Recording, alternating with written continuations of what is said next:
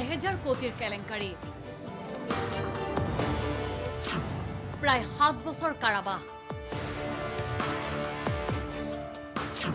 অৱশেষত চাকৰিৰ পৰা বৰ্খাস্ত আৰিজ খান।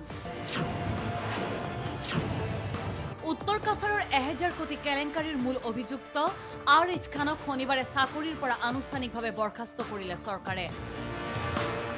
ৰাজ্য তোলপাৰ লগোৱা কংগ্ৰেছৰ শাসনকালৰ এই কেলেংকাৰী পোহৰলৈ অহাত গ্ৰেপ্তাৰ হৈছিল তদানীন্তন উত্তৰ কাছাৰৰ সমাজ কল্যাণ বিভাগৰ ভাৰপ্ৰাপ্ত উপ সঞ্চালক আৰ এইচ খান। গ্ৰেপ্তাৰৰ পিছতে খানক চাকৰিৰ পৰা নিলম্বন কৰা হৈছিল যদিও চাকৰিৰ পৰা বৰ্খাস্ত কৰা হোৱা নাছিল। পিছে দীৰ্ঘদিনৰ পিছত ৰাজ্যপালৰ নিৰ্দেশত আৰ এইচ খানক চাকৰিৰ পৰা বৰ্খাস্ত কৰা হয়। সমাজ কল্যাণ বিভাগৰ প্ৰধান সচিবে দিলে বৰ্খাস্তৰ নিৰ্দেশ। গুৱাহাটীৰ কেন্দ্ৰীয় কাৰাগাৰত সাত বছৰ কাল বন্দী হৈ থকাৰ পিছত কিছুদিন পূৰ্বে মুক্তি লাভ কৰিছিল খানে। দুহেজাৰ সোতৰ চনৰ জুলাই মাহত দোষী সাব্যস্ত হোৱাৰ প্ৰায় ন মাহ পিছতহে বৰ্খাস্ত হ'ল Ariz Khan. Bureau report D Y three six five. দিছপুৰত এতিয়া পূৰ্ণগতিত নিৰ্মাণ চলিছে দুটা কক্ষৰ। এটা কক্ষ এই দুটা কক্ষ দুটা নিৰ্মাণ কৰা হৈছে বিষয়াৰ জিৰণিৰ বাবে।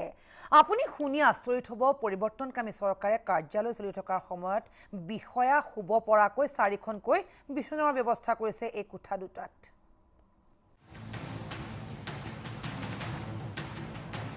পৰিৱৰ্তনকামী চৰকাৰৰ আজব কাণ্ড। সাধাৰণ কৰ্মচাৰীৰ কাৰ্যালয়ত বহিবলৈ নাই চকী টেবুল।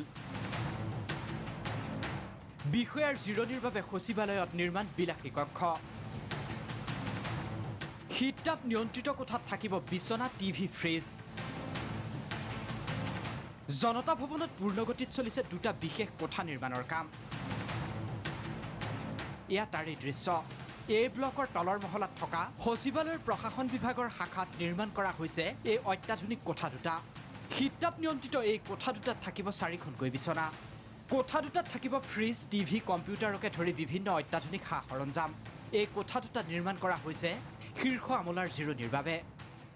শীৰ্ষ আমলাসকলৰ জিৰণিৰ বাবে জনতা ভৱনৰ এই ব্লকৰ নজৰত থকাৰ এই নজৰত থকাৰ ভিতৰতে নিৰ্মাণ কৰা হৈছে দুটাকৈ আছুতীয়া কোঠা।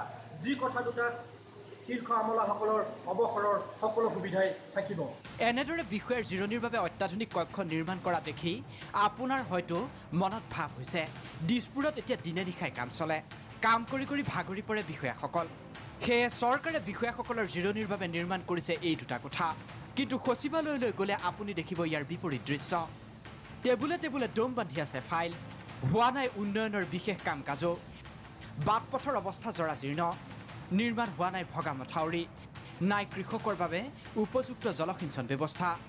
এনে পৰিপ্ৰেক্ষিতত প্ৰশ্ন উঠিছে যি সময়ত সাধাৰণ কৰ্মচাৰীৰ কাৰ্যালয়ত বহি সুচাৰুৰূপে কাম কৰিবলৈ চকী টেবুলৰ অভাৱ সেই সময়ত বিষয়াৰ বাবে বিচনা ফ্ৰিজ থকা এনে বিলাসবহুল কক্ষৰ প্ৰয়োজন ক'ত? News desk report D Y three six five